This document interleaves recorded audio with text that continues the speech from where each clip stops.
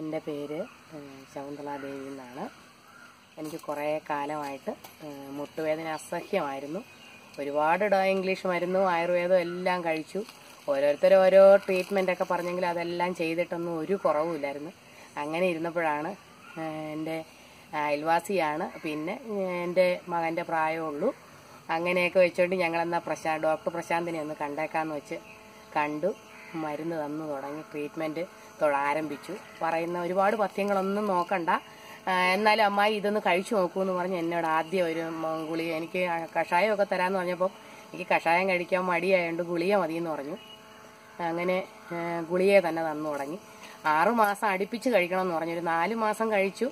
പിന്നെ കുഴമ്പുകളും മറ്റതൊക്കെ ഉപയോഗിച്ച് തുടങ്ങിയപ്പോൾ തന്നെ എനിക്ക് നല്ല വ്യത്യാസം ഉണ്ടായിരുന്നു. ഇപ്പം നിശേഷം മാറി. എനിക്ക് എത്ര ദൂരം നടക്കാനും ബസ്സിൽ കയറാനും ഒന്നിനും യാതൊരു ബുദ്ധിമുട്ടുമില്ല നീരില്ല മുട്ടിന് ശകലം പോലും വേദനയില്ല.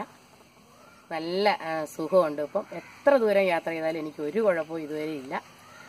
ഇപ്പോഴും വല്ലപ്പോഴും ഒക്കെ കുഴമ്പ് തേക്കുന്നു അത്രയേ ഉള്ളൂ.